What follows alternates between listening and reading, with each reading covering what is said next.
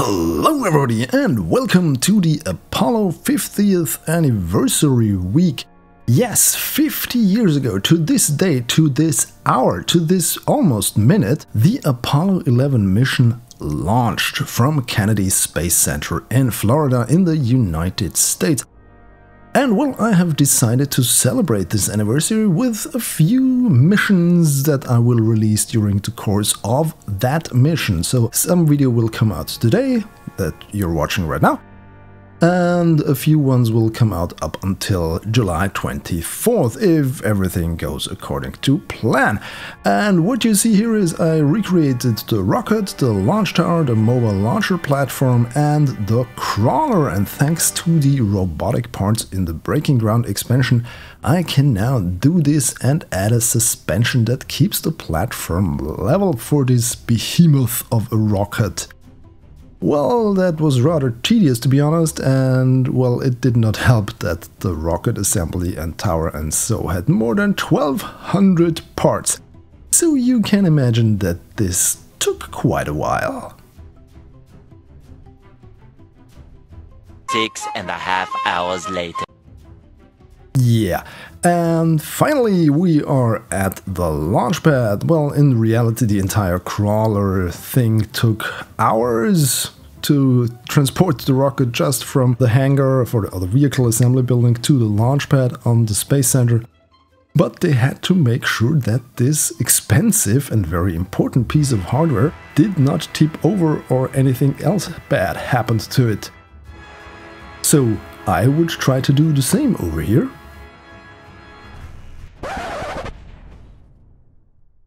But as it looks like, the launch pad is not stable enough for this amount of pressure.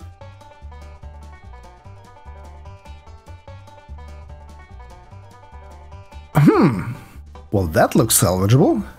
Well the crawler doesn't, that's toast. But the rocket? Well we can use that again, shall we? Again! Alright, here it is in all of its beauty on the launch pad. Yes, we now have our rocket erected over here and with some other robotic parts we are going to make way for it to launch and not crash into that crane and other girders segments. And of course the crew consisting of three brave Kerbals that will go where no Kerbal has gone before. Well, actually they have. It's Kerbal Space Program. Everybody's been to the moon, right? Okay, our pilot makes his way towards the capsule and so do the other brave Kerbonauts that will blast off in a few minutes or seconds rather in this vehicle. The access ramp is gone, the engines are ignited and we are launching! Yes, look at that, that is magnificent, if I might say so myself. And yeah, I have to admit, it took quite a few hours to build this, to be honest. But it's even more satisfying to see it work like that. Alright, this is just your basic ascent. We're going to dive out of the atmosphere and then there are, some stage separations. First we're going to shut down the center engines as did the real Saturn V and now we're separating our stage, first stage that is, and then of course we're separating the interstage. There we go! That was a tricky bit to make it like that, but I'm glad it turned out how it did. Alright, second stage on its way towards space. And the launch tower is now gone, we don't need that anymore. And after the second stage is spent, of course, we're going to our third stage. In reality of the Saturn V, this was the S4B translunar injection stage, which was also used to finalize the orbit around Earth before the astronauts burned towards the moon. And we're going to do the same here. Alright, after one victory lap around our planet, we're going to do our burn coming right up after the next sunset, which is here. And yes, um, have you actually seen that movie Apollo 11? Uh, it was in cinemas in the US a few months ago, and now it's finally released across Europe in select cinemas, unfortunately only. I was lucky enough to uh, catch a screening over here where I live, and it was magnificent. To see all of that real footage of what happened was fantastic. And speaking of what happened, we're going to happen over here. Uh, what's going to happen over here is that we're going to transpose, extract, and fly away with our lunar lander. Yes, that was the standard maneuver with the Apollo missions. They had to separate the service and command module, then dock back to the lunar module, or the lunar excursion module rather, and then pull that out of third stage fairing. And that's what we're going to do right here. And I have used, again, robotic parts to make this petal shape over here. To be honest, it was a lot trickier to make this stable and not fly away during flight than what it looked like. Um, but yeah, I'm glad it turned out how it did. And we are now well on our way towards the moon and of course have to use our service module stage to fire it up and circularize. And after our Kerbonauts have transferred to the lunar module, that is now separating and descending towards the surface. And it also has a little bit of a special payload with it. If you have very keen eyes, you might have already guessed what it is behind that uh, round tank. But for now, we're going to start our descent maneuver.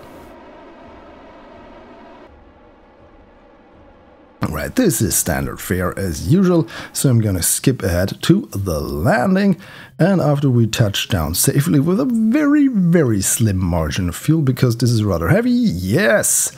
We are deploying a rover once again with robotic parts and that managed to uh, store that thing inside of that uh, lunar module. Alright, and now that we are outside, or that the pilots are outside, they can now take a little stroll in their moon rover. Of course, it needs power, so we have some solar sails, uh, solar panels, of course. And then we're driving around and having some fun destroying our solar panel. But yeah, we're not going to drive around any longer because we want to go home. There we go, separation successful, and yeah, that's also just a regular ascent, and then getting back to the service module. What I wanted to show off here was this entire launch tower assembly and what you could do with the robotic parts in regards to a Apollo recreation mission. So this was rather more one of the later Apollo missions with the lunar rovers because of course Apollo 11 did not have a lunar rover on board. Yes, and we have now docked back with the service module we're going to leave the Ascent module over here after we have transferred the crew back again. And then of course it's time to head back home, so no surprises here. Really standard fare mission, but this is also more of a warm-up.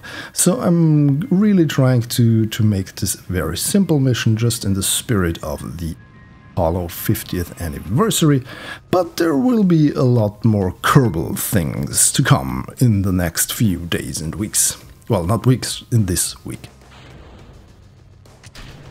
Alright, separation successful, and now we are diving into the atmosphere while we watch the service module burn in the upper cloud layers. Of course, our heat shield is protecting us, and after we have managed to get out of the hot bit of the atmosphere, we can finally deploy our parachutes that are hiding in here. There they are! Hi guys! Alright, after I deployed the main chutes, I cut the drogue chutes, as was also the case with the real thing. And since we have three of these, it's way enough to make this splash down safely.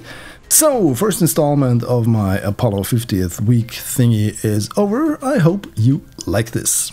If you enjoyed this video, please subscribe to my channel for more and follow me on my social thingies. The links are in the description. Also, you can watch one of the two cool videos shown on the right. Thanks for watching. Goodbye.